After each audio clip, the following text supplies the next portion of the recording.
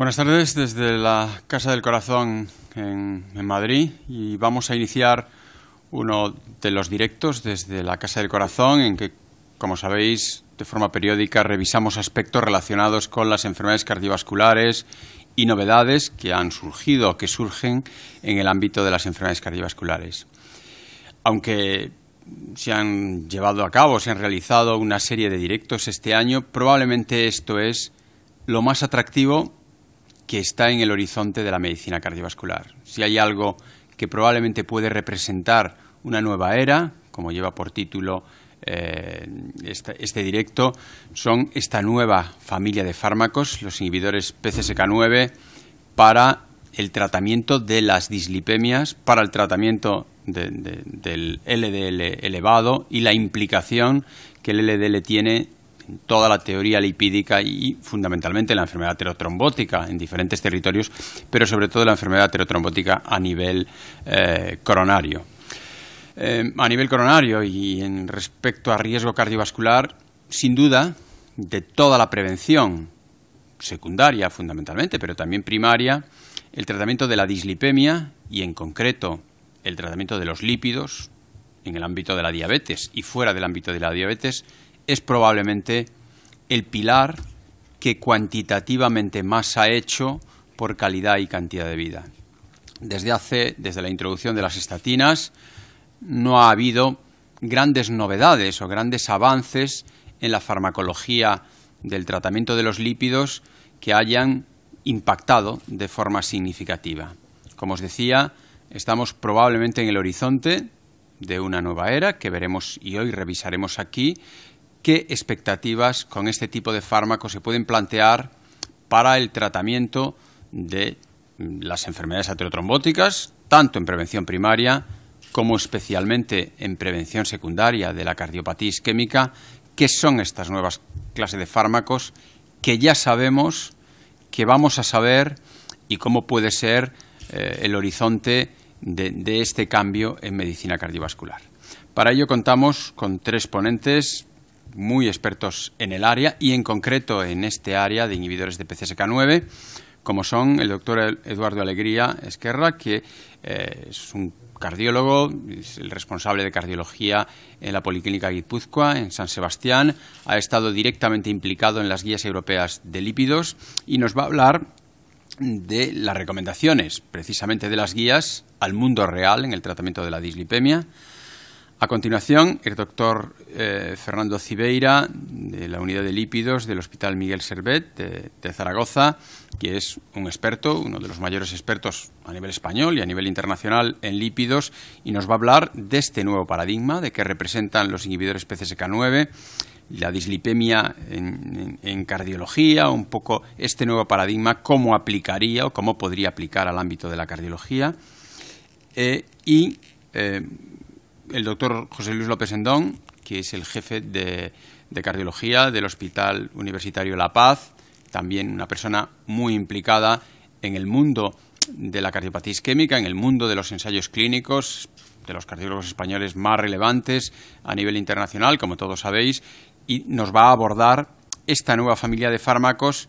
Fernando mm, nos lo iba a, ver eh, qué sabemos en la actualidad y José Luis nos va a poner en perspectiva qué va a venir y cómo lo que va a venir puede modular la enfermedad y puede modular el papel que estos fármacos juegan en el objetivo que todos los médicos tenemos, que no es otro que prolongar la vida y mejorar la calidad de vida de nuestros pacientes. Posteriormente habrá un debate entre todos, fundamentalmente con las preguntas y los comentarios que se envíen al chat o por Twitter, por el Twitter de la SEC, que sabéis que la etiqueta es hashtag IPCSK9 y todos los comentarios pueden venir a través de ese hashtag de Twitter o a través del chat y posteriormente entre todos nosotros estableceremos también con vosotros un, debate. Por tanto, sin más, vamos a comenzar con el doctor Alegría que nos va a, a poner en perspectiva el tema de la dislipemia desde las guías al mundo real. Eduardo. Muchas gracias, buenas tardes. Eh, gracias, José Ramón, por haberme invitado a esta mesa tan, tan prestigiosa. Y gracias a los asistentes, tanto a los físicos aquí en, la Casa del Corazón como a los que estáis por vía Twitter. Eh, la tarea que me ha tocado es, digamos, iniciar el tema del tratamiento de las dislipidemias en la cardiología basándome en las recomendaciones de las guías, que como sabéis hay dos guías fundamentales, la europea y la estadounidense, y eh, con algunas diferencias. Las guías europeas están más basadas en el riesgo, las guías estadounidenses están más centradas en las estatinas, pero ya veréis que en realidad las recomendaciones son bastante parecidas. Las guías europeas, como es evidente, se basan en la categorización del riesgo según el baremo SCORE, que es un baremo que está hecho y validado en poblaciones europeas. Aquí tenéis la tabla que se utiliza para calcular el riesgo teórico de sufrir una complicación mortal cardiovascular en los siguientes 10 años en función de la edad y en función de los factores de riesgo tradicionales, tabaco, diabetes, colesterol y presión arterial.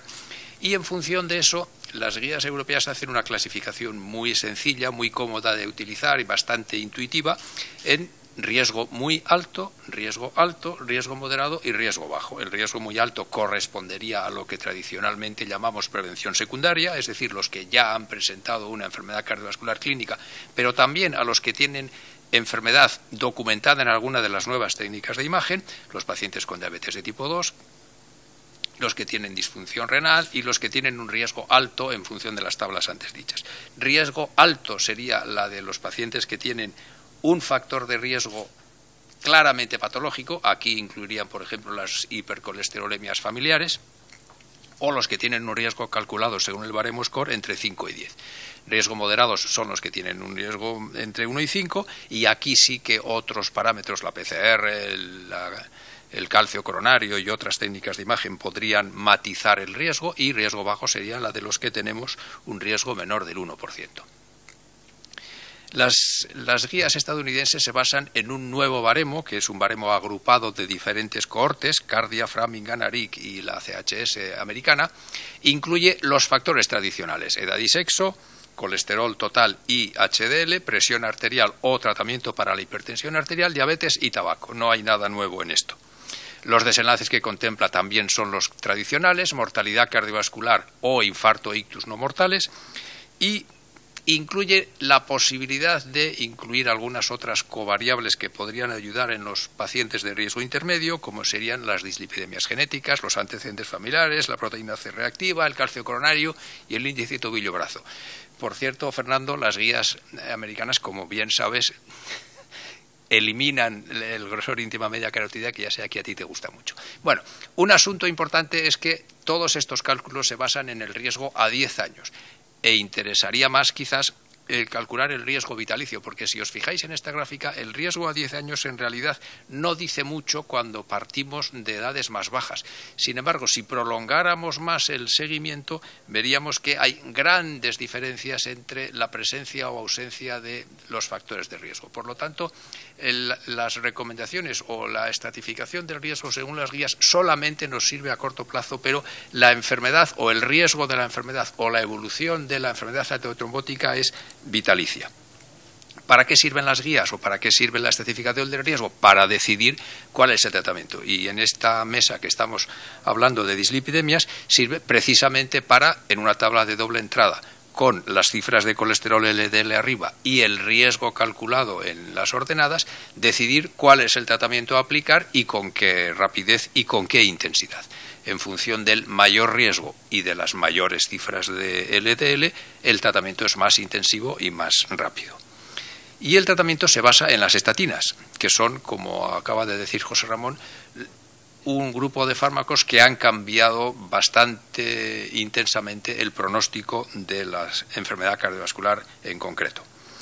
Ya sabéis que el mecanismo de acción es la inhibición competitiva de la hidroximetil reductasa. Su efecto fundamental es reducir las LDL. Hay diferencias entre las diferentes estatinas a diferentes dosis en otros factores y también en el porcentaje de reducción del colesterol LDL De modo que, eh, esto lo veremos después, pero más o menos por cada 40 miligramos por decilitro de disminución del colesterol LDL, un milimol, según las, las unidades que se utilizan en otros países, reduciríamos un 10% la mortalidad y un 20% la mortalidad por cardiopatía isquémica, el conjunto de las complicaciones coronarias graves en un 23% y los ictus también en un 17%. Hay algunos efectos adversos, hepáticos y musculares fundamentalmente, y también interacciones como después veremos. Las guías americanas eh, utilizan otro planteamiento completamente distinto. Eh, simplemente se basan en decidir en qué pacientes se ha demostrado en los ensayos clínicos que las estatinas funcionan y previenen las complicaciones. Y detectan cuatro grupos fundamentales. Uno, lo que se correspondería a la prevención secundaria clásica, el paciente que ha tenido una enfermedad cardiovascular. El grupo segundo es el de los que tienen un colesterol LDL muy alto, por encima de 190, que correspondería a las hipercolesterolemias primarias, obviamente. El tercer grupo es el de los pacientes diabéticos. Y el cuarto grupo sería el de los que tienen riesgo alto en función del baremo que antes mencioné. Y según estos cuatro grupos se decidiría qué intensidad de tratamiento estatínico se haría. En los grupos 1 y 2, con algunos matices que ahora veremos, se utilizarían estatinas de alta potencia o de reducción marcada del colesterol LDL por encima del 50% y en los grupos tercero y cuarto unas estatinas de potencia moderada pretendiendo una reducción del LDL entre 30 y el 50%.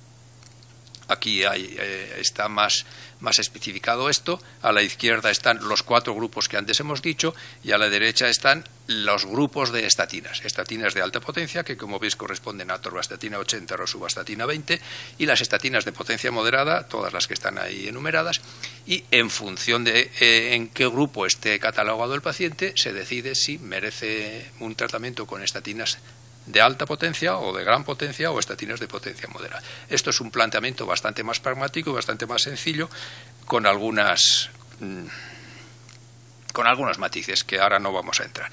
Pero estos son las guías. Ahora, ¿qué pasa con la vida? Pues la vida como siempre, es algo diferente. Los que leemos las guías o incluso los que participamos en redactar las guías sabemos que las guías no cubren todo y hay algunos aspectos de la vida real o de las consultas diarias en las cuales pues no, no abarcamos todo. Y aquí tenéis algunos de los aspectos que voy a citar. Hay numerosos escenarios particulares en los cuales las guías europeas hacen mención. Aquí los tenéis todos, las hipercolestemias familiares, niños, mujeres, ancianos, diferentes enfermedades, la cardiopatía isquémica, tanto la aguda como la revascularizada, etc. También hay directrices especiales para los pacientes con diabetes, aunque estas directrices, en mi opinión, ya están un poquito digamos, anticuadas, porque el tratamiento del paciente con diabetes es reducir el riesgo todo lo que se pueda y el colesterol es un factor importante. En los síndromes coronarios agudos, que es quizás en lo que más se va a incidir después, pues sistemáticamente se aplican estatinas a dosis máximas, pero esta gráfica la habréis visto mil veces, pero si os fijáis en la, en la raya de arriba, que es la que corresponde a la prevención secundaria, es cierto que conforme más potentes estatinas utilizamos, más reducimos el riesgo y conforme más reducimos el colesterol LDL, más reducimos el riesgo. Pero sigue habiendo aproximadamente un 10% de complicaciones coronarias en este grupo.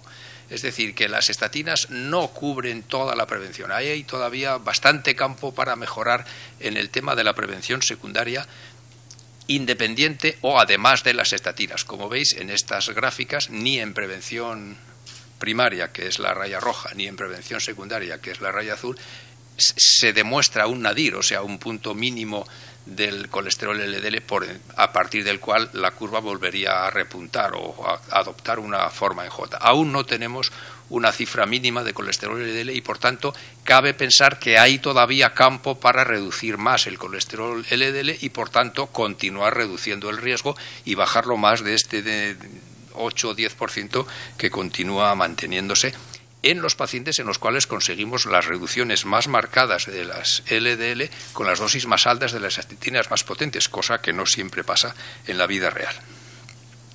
otra cosa que pasa en la vida real es que las estatinas tienen ciertos efectos adversos, no son inocuas como se pensaba, no tienen muchos, pero tienen algunos efectos.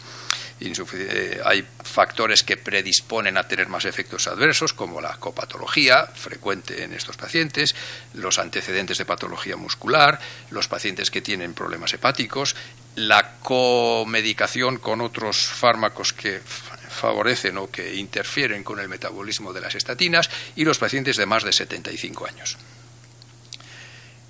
muchos de los pacientes, bueno, muchos no, todos los pacientes con cardiopatía isquémica o con enfermedades cardíacas o con alto riesgo toman gran cantidad de medicamentos, todos ellos muy protectores, pero todos ellos que pueden tener interacciones con las estatinas.